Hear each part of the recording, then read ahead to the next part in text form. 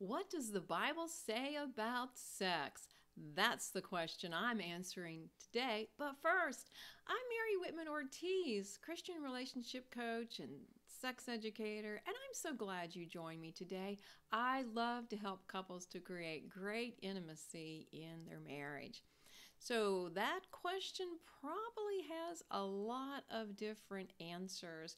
And maybe you um, grew up and you heard some really stern messages from the church. And you know, I agree with no to sex before marriage, but a lot of times that yes, after marriage is not addressed well, and we all suffer when we don't have a clear understanding of what God really says about sex in marriage, one husband, one wife married to each other, and I am going to tell you three things that will help you to get clearer on that. So first of all, God says it's good. You know, it's a gift that He desires for husbands and wives to enjoy in marriage. And there are so many benefits physically, emotionally, spiritually, mentally. I mean, even people are more productive in life when their sexual intimacy is thriving. And we can find out exactly how God said it was good by going to the book of Genesis, chapter 1. We see in the Garden of Eden, after he made Adam and Eve, he said not just it was good, but it was very good. And he knew every detail. Oh, I could just go on and on about that. What else do we know? Well, according to God's design, we are to be naked and unashamed. And that means we get to come to this place of true intimacy where there's trust, there's vulnerability, there's transparency, there's a real connection with your spouse. And the third idea about sex in the Bible, well, we get to follow Jesus' example of love and serving and tender and affection. So, a lot of good things and so much more that you maybe never heard before. And if you've been missing out, whew, you need the Sexual Wholeness Toolkit. You need to know what's been missing from your repertoire of Christian ideas about sex.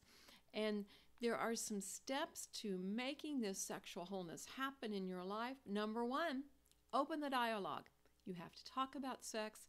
You have to talk about what is sexual wholeness. Number two, identify how brokenness in the world has impacted you, how it's derailed you from your future goals. Maybe you weren't even aware it was happening.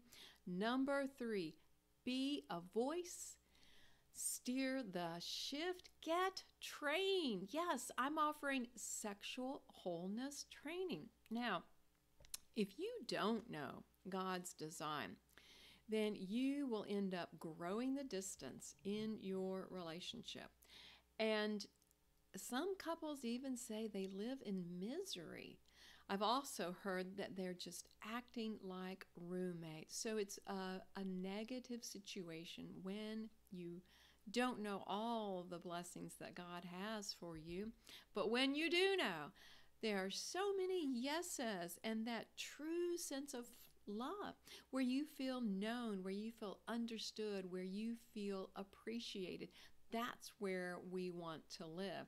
And that is waiting for you. And I want to teach you even more. So I'm hosting a sexual wholeness training.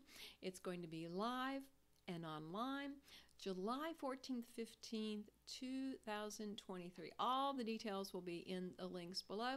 And you might be saying, well, Mary, who's that good for? Well, if this spoke to you, it's for you because it will transform your life and you will be able to share it with friends. You know, it'll impact your family. Also, if you're a mental health professional or a ministry leader, this is for you. These are some of the missing pieces that will make your work as you are, you know, one on one or small groups with others. It'll transform that interaction.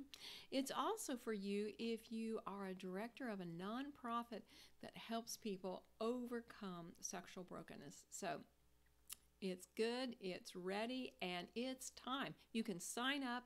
You can see the link below. So excited to share this with you.